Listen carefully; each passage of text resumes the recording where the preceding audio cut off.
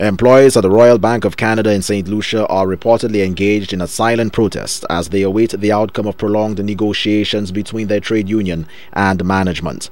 The parties are set to meet again on October 13th. The National Workers Union, which represents workers, has accused the bank of delaying the completion of a collective bargaining agreement. General Secretary George Goddard Jr. says the union has accepted recommendations made by the acting Labour Commissioner to resolve the matter, but he claims the bank has not done the same they are not sitting down to negotiate. So that is creating um, tension, a, a, certain amount of tension at the bank, a tension that has been going on now, I must say, um, for well over a year, and that cannot be healthy for the industrial relations situation in the country. The NW claims talks are also being held up by the bank's objections to five conditions within the proposed collective bargaining agreement. The union wants an audience with Gregor Brafitt to iron out this and other issues. The financial institution denies it is engaged in stall tactics. The country manager blames scheduling conflicts for the failure for the parties to meet and hammer out a deal. I was on vacation at the time I came out for the meeting and the union did not turn up. The Labour Commissioner then set the meeting for October the 20th. NW appealed to the bank for us to go to the Labour Commissioner to see if the meeting could be brought up earlier.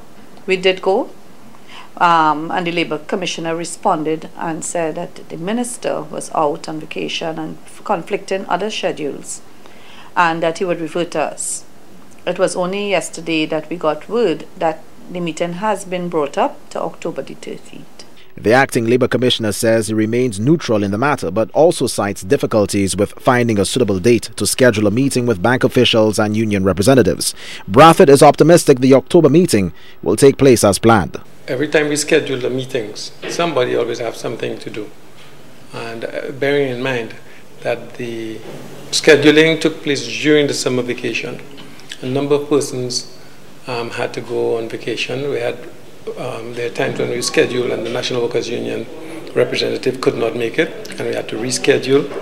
Then there was a time when management um, could not have made it, and then there's another time when the minister could not have made it. RBC workers first staged protest action in April demanding the start of negotiations on a collective agreement. Later, the NW called on the Labour Department to intercede for a speedy resolution. The two sides were set to meet following the acting Labour Commissioner's recommendations that were made in July. That meeting, which has yet to take place, has now been rescheduled for October 13th, 2009.